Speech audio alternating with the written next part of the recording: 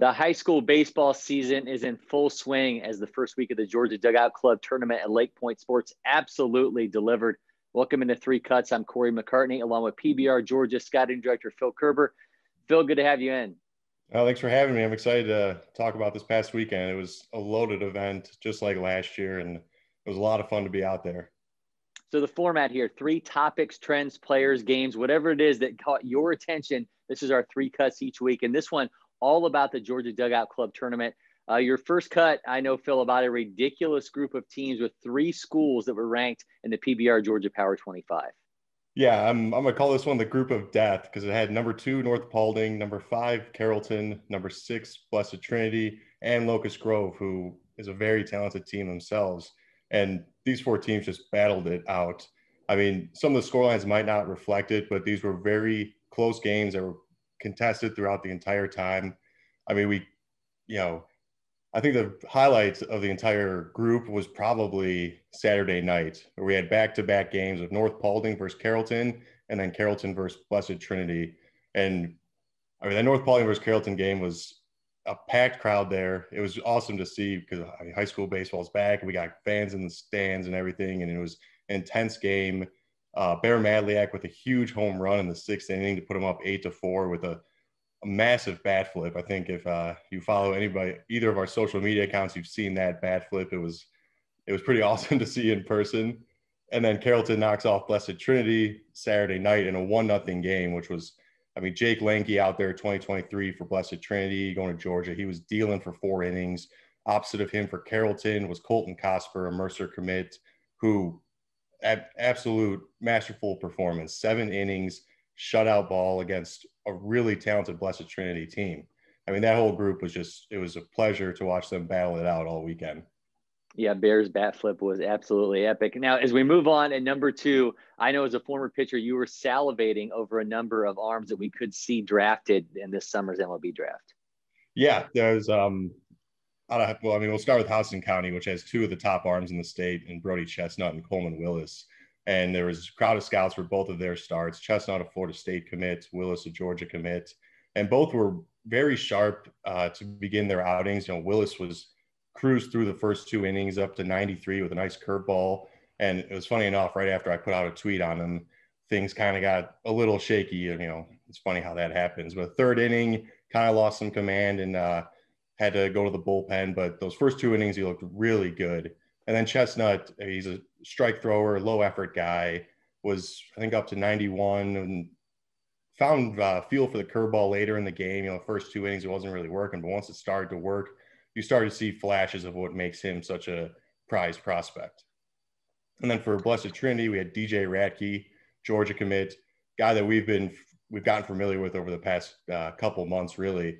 And know, we we've known about him for a while, but we've gotten an up close look at him recently, and he's looking better and better. Low 90s arm, really pounds his own swing and miss breaking ball that he had working for him on uh, Friday night in their victory. And then Allatoona Logan McGuire, another guy that had scouts uh, on him in his start against, I believe it was Savannah Christian. Another guy that's low 90s, good feel for his curveball, you know, low effort, um, Georgia Tech commit. Another guy that we'll be keeping an eye on ourselves. And then finally, you know, the last arm, Carrollton Samuel Simpson, the South Carolina commit, who, you know, another guy was, I think, up to 91 and had some really nice breaking balls that he threw to North Paulding. I mean, there were some, uh, if you go look at the video, there's some nasty swing and misses that he was getting on the top on the top of their order, which is, you know, a pretty competitive order. Well, I know that Radtke did not get that win against North Paulding, but after that game, uh, North Paulding coach uh, Dennis Jordan just uh, could not say enough about the, the way Radtke pitched and them going against a really tough arm to open things up in that uh, tournament. Finally, for your third cut, uh, run down some of the high level underclassmen that really grabbed your attention this weekend.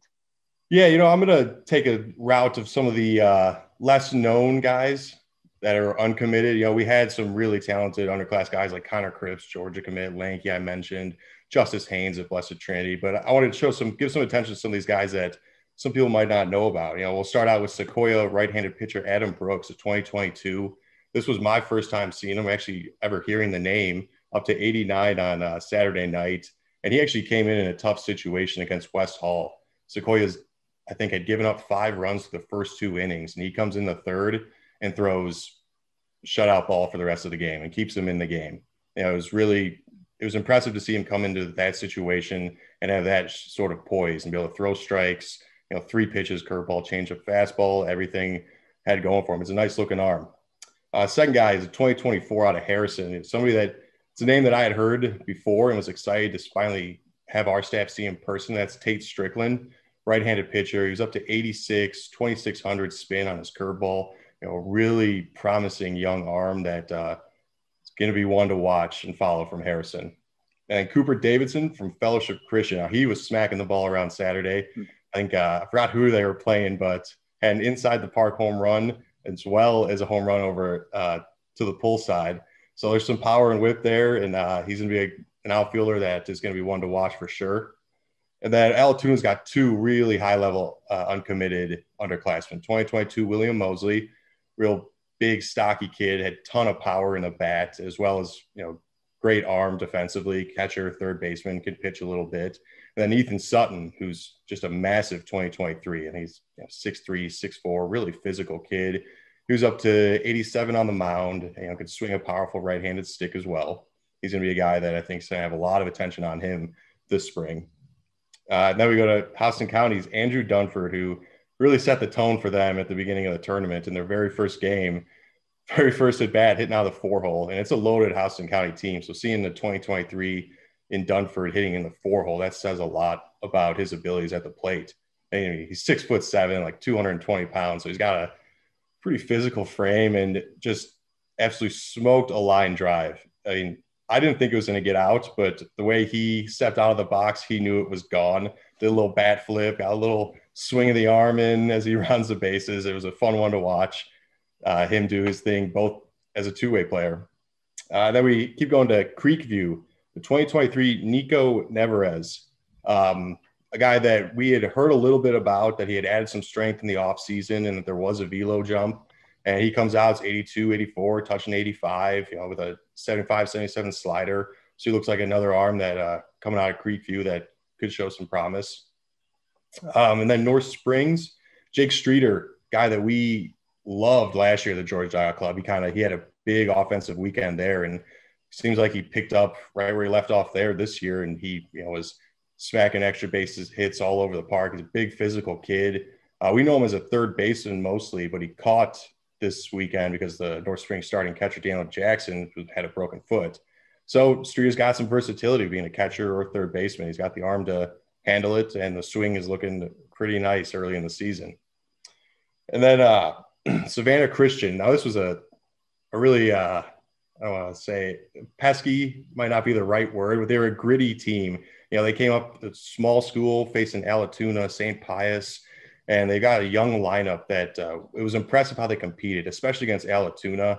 You know, a guy like Dagan Strickland, uh, Josh Gates, Eli Brown, they were all top the order bats for Savannah Christian that took some competitive ABs against a, some good Allatoona pitching. Eli Brown really stood out for me. He has he was on the bump that game, up to 82, but was mixing speeds, mixing his arm angles, everything, kind of just throwing everything in there to get this talented Allatoona lineup you know, out front, and he it was working. He had them to I think one run through five innings. It was a really impressive, and he was doing it with the bat too, kind of a slappy line drive type hitter, hitting out of the leadoff spot. And I think he's going to be a guy that we'll definitely have our eye on. And then finally, we got uh, Zachary Harris out of Cambridge, a right-handed pitcher, also quarterback.